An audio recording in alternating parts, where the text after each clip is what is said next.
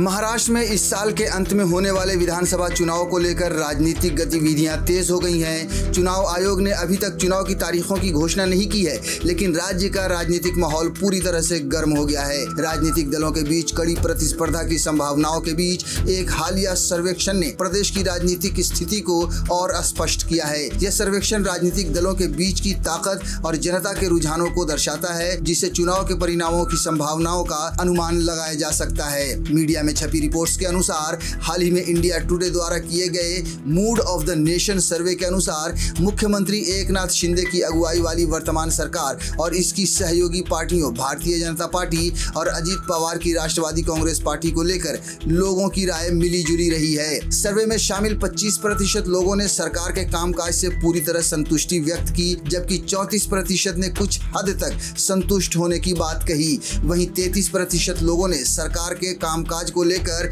असंतोष जताया है। यह सर्वे राज्य की वर्तमान राजनीतिक स्थिति को दर्शाता है और आगामी विधानसभा चुनाव में इसका महत्वपूर्ण प्रभाव हो सकता है। महाराष्ट्र में विपक्षी दलों के प्रदर्शन को लेकर किए गए सर्वेक्षण में पता चलता है कि उद्धव ठाकरे की शिवसेना, शरद पवार की एनसीपी और कांग्रेस जैसी पार्टियों के काम से केवल 11 प्रतिशत लोग पूरी तरह से संतुष्ट हैं। 21 प्रतिशत उत्तरदाता विपक्ष के प्रदर्शन से कुछ हद तक संतुष्ट हैं, जबकि 30 प्रतिशत लोगों ने विपक्ष के कामकाज को लेकर निराशा व्यक्त की है। 2024 के लोकसभा चुनाव में इंडिया गठबंधन के सहयोगी दलों ने 48 लोकसभा सीटों में से 30 पर जीत दर्ज की थी। कांग्रेस ने 13 सीटें, शिवसेना, यूबीटी ने 9 सीटें और शरद पवार की एनसीपी ने 8 सीटें जीती थी। वहीं एनडीए को केवल 17 सीटों पर संतोष करना पड़ा था, जिसमें भाजपा ने 9 सीटें एक शिंदे की अगुवाई वाली शिवसेना ने सात और अजीत पवार की एनसीपी ने केवल एक सीट जीती थी। हाल ही में किए गए mood of the nation survey के अनुसार यदि आज लोकसभा चुनाव होते हैं तो भारतीय जनता पार्टी और कांग्रेस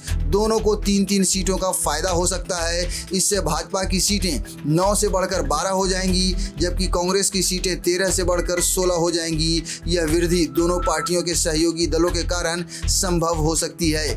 महाराष्ट्र में आगामी विधानसभा चुनाव के मद्देनजर mood of the nation survey के नतीजे राज्य में राजनीतिक संतुलन की दिशा को दर्शाते हैं। राष्ट्रीय और राज्य स्तर के चुनाव में मुद्दे और मतदाताओं की प्राथमिकताएँ अक्सर अलग अलग होती हैं, लेकिन यह सर्वे संकेत देता है कि एनडीए को महाराष्ट्र में अपनी स्थिति मज़बूत करने के लिए और अधिक प्रयास करने होंगे। विशेष रूप से अजित पवार की एनसीपी के कमज़ोर प्रदर्शन को देखते हुए एनडीए के लिए राज्य में चुनौती और भी कठिन हो सकती है। फ़िलहाल राजनीतिक माहौल पूरी तरह से गरमाया हुआ है और मतदाताओं का रुझान समय के साथ किस ओर जाएगा ये देखना दिलचस्प होगा।